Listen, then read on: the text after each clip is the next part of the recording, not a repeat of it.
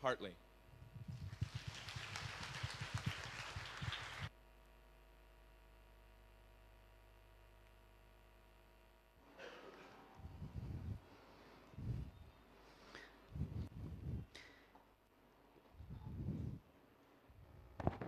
Good morning, everyone.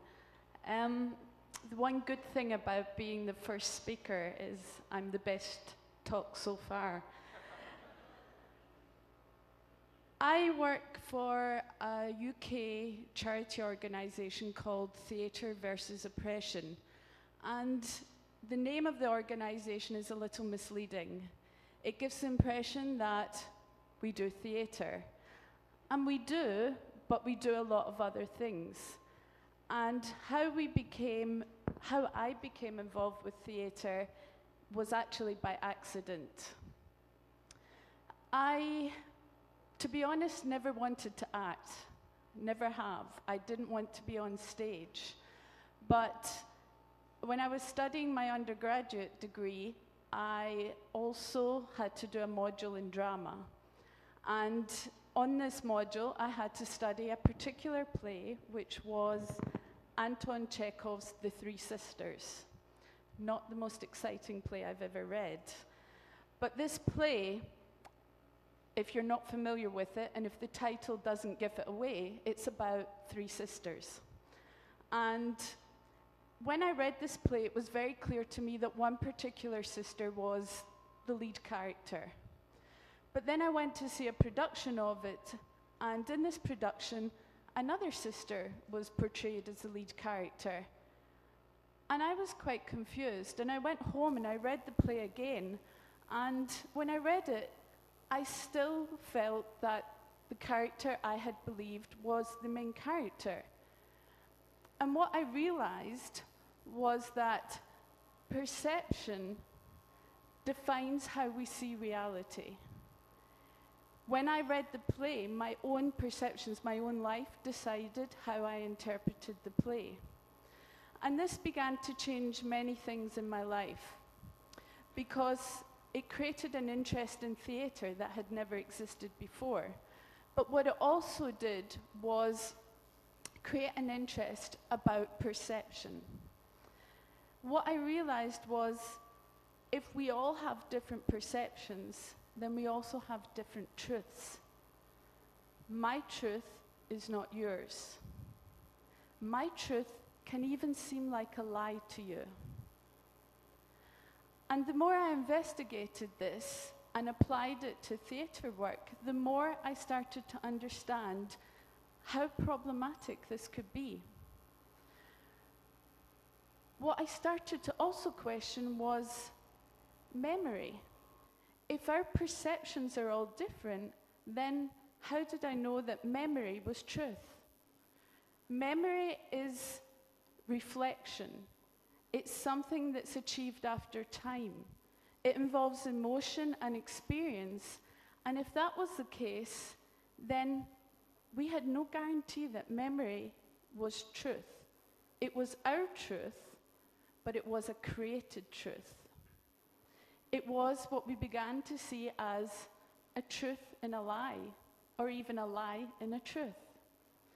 And one of the, the scientific facts, I'm not sure how they got this, but they, they showed that every second our brain processes, well, our brain receives 400 billion pieces of information and is only able to process 2,000 of these. Think about that for a moment. Every second, 400 billion pieces of information, and your brain can only process 2,000. Of course, we're not assimilating. Of course, we are all seeing and hearing different things. Everyone in this room thinks that we are looking at and hearing the same thing, but it's impossible. We're not. Added to this is the concept that sometimes our memory can be implanted. Um, I think we've all had the embarrassing experience where our parents tell us stories about when we were children, very embarrassing stories that we don't actually remember, but we hear them so often from our parents that eventually we start to think we do remember. And our brain starts to create the images to go with that memory. And suddenly it becomes a true memory for us. But it was implanted. We didn't actually remember that. Now, the theatre work I then became involved with was to encompass all of these things. And what I wanted to look at was the fact that perception, what I wanted to acknowledge was that the limits of our perception is not limited to all that there is to perceive. And the theatre is a wonderful way to explore this. Now, our theatre work is based on looking at situations of oppression. And that means working with different groups that are usually issue based groups. When I say issue based groups, what I mean is we, we work with a range of groups, and this could involve um, alcohol and substance abuse. We work with sexual abuse. We work in prisons and hospitals. Um, we work with different programs around the world, sometimes refugee camps. But one of the, the first projects that we worked on was working with torture victims in South America. And this program, if we were going to work with projects based on perception, we had to put aside all our preconceptions. That's a very difficult thing to do. The nature of our work is three pronged. We work with victims, perpetrators, and what we call bystander victims. Those are the families that might seem indirectly involved, but the direct effects lead to them often becoming victims or perpetrators later. And this meant that when we started the project working with torture victims, that we also had to work with the torturers and with families that were involved. It was never about right or wrong. It was not about judging if what someone had done was a good thing or a bad thing. It was about trying to understand the individual perceptions and truths that led to someone behaving and acting the way that they had. Now, our work is often um, typified by creating plays.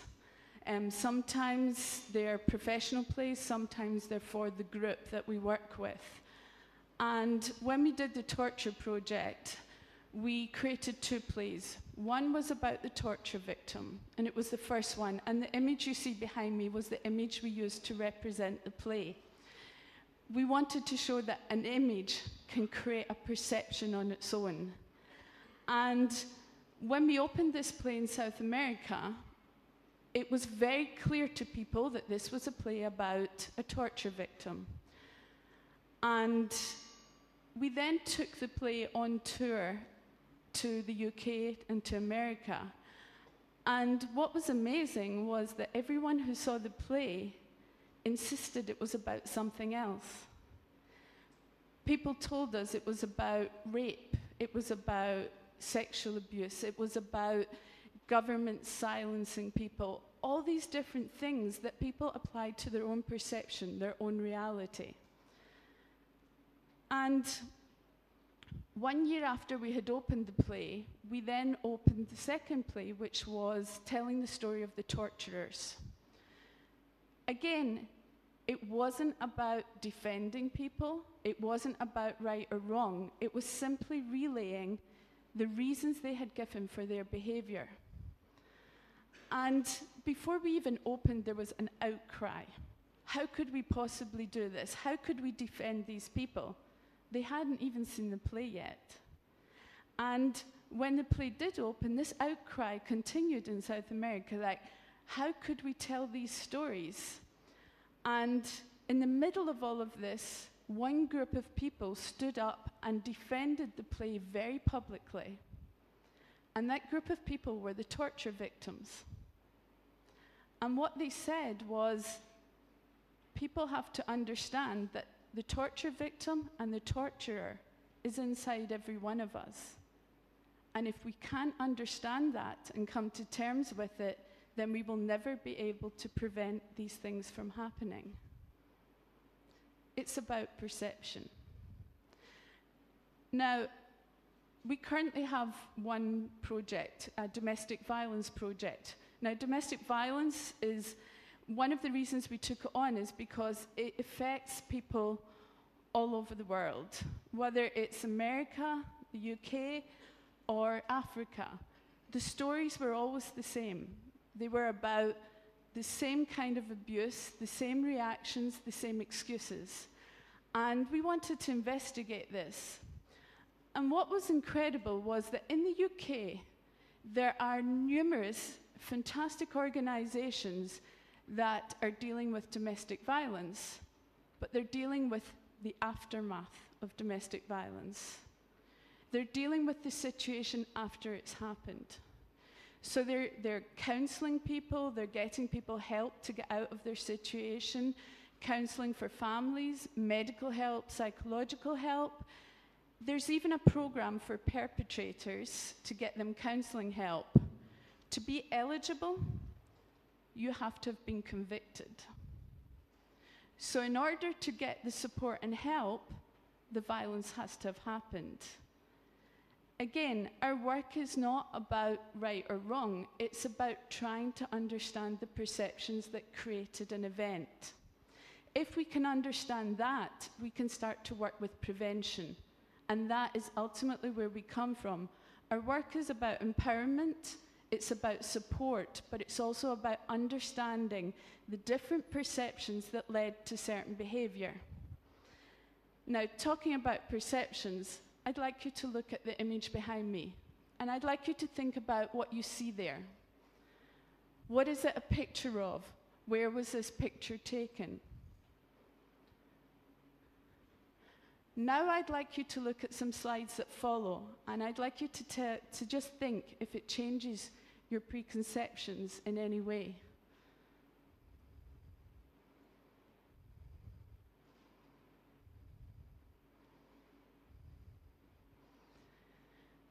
These pictures were taken in a refugee camp in Uganda where we work. We have a number of projects there.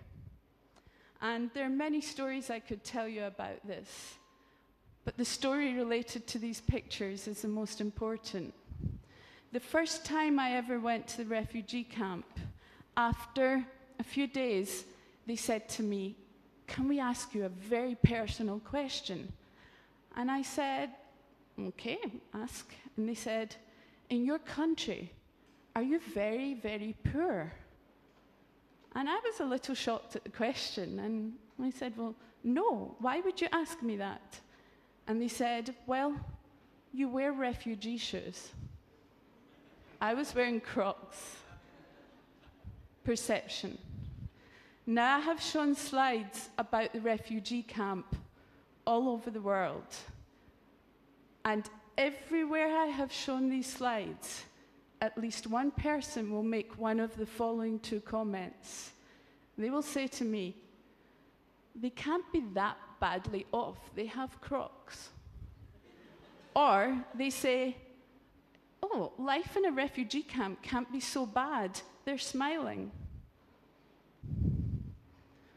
We don't see things as they are, we see them as we are.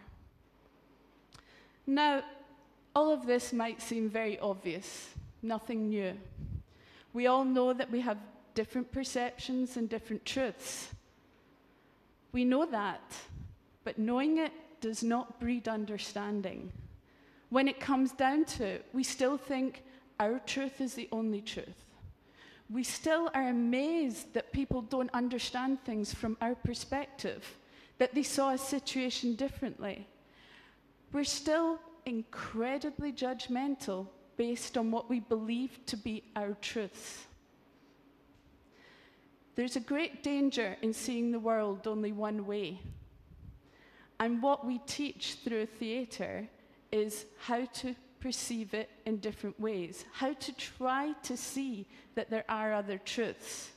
You don't have to accept them, you don't have to understand them, but you must accept that there are other truths, there are other perceptions. We are not seeing and hearing the same things. Now, in the refugee camp, the first year I went out there, we had a project where we worked with a group of men aged between 18 and 35. And there was one much older man in the group. He was maybe late 60s, early 70s. And one day, we were all sitting around talking, and I said to him, Elijah, how old are you? And without a moment's hesitation, he said to me, I'm 52. And we all laughed, and we said, No, you cannot possibly be 52.